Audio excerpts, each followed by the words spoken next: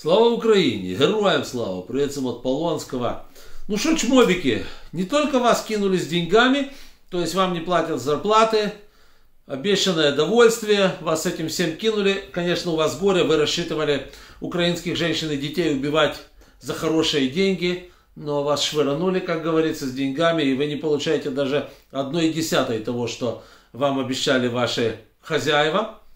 Э, не только с этим вас кинули, вас еще кинули и с э, банковскими кредитами. Не секрет, что вы едете убивать украинских женщин и детей э, еще и с тем, чтобы погасить свои долги различным российским банкам. Так вот, вам, как лохам последним, обещали то ли погасить ваши кредиты, то ли каким-то образом их аннулировать, то есть сделать таким образом, чтобы вы их не платили. Думаете, это так будет? Даже не мечтайте. Отдадите все до копеечки, еще и с процентами. Вот какое письмо. Кстати, это письмо сейчас есть у нас на телеграм-канале. Ссылочка снизу. Так что заходите, читайте, любуйтесь. Э, общение с банком. В данном случае банк Тиньков. Есть у вас там такой банк. Слава богу, у нас его нет и никогда в жизни не будет. Вот. Но банк мерзопакостный также, такой же, как и все в вашей недостране. Итак, э, одна какая-то барышня, видимо, отправила своего мужа убивать женщин и детей, быть убийцей и фашистом в Украине, и интересуется, что же, какие же выгоды она получит от этого банка за то, что ее муж стал фашистом и эсэсовцем. Добрый день, расскажите подробнее о подсрочке по кредиту для мобилизованных. И банк ей популярно рассказывает.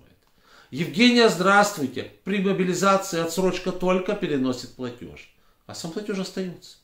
Задолженность никуда не денется, а проценты продолжают начисляться. Привет, лохам.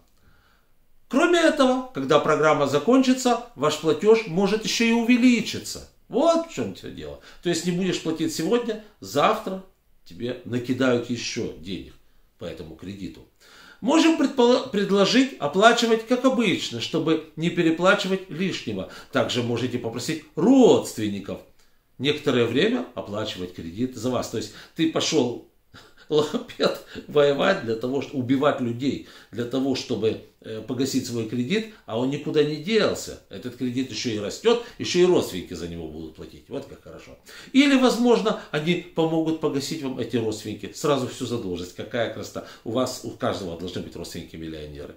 Есть ли у вас такая возможность? Если думаете, что я выдумал, ну, пожалуйста, заходите в телеграм-канал к нам, ссылочка снизу, читайте балдеете от этого. Вы знаете, мне не, мне, я это говорю не потому, что мне жалко каким-то образом могилизированных э, негодяев. Конечно же нет.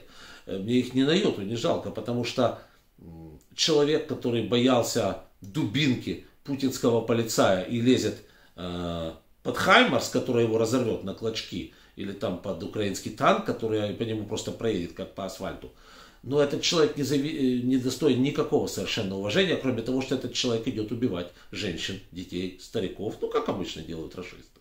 Поэтому никакой жалости и никакого сочувствия у меня к этим людям нет и, конечно же, быть не может. Речь тут о другом.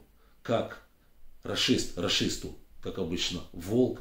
И если расист расиста не кинет как следует и не втопчет расиста в грязь, он тогда расистом не будет. Слава Украине!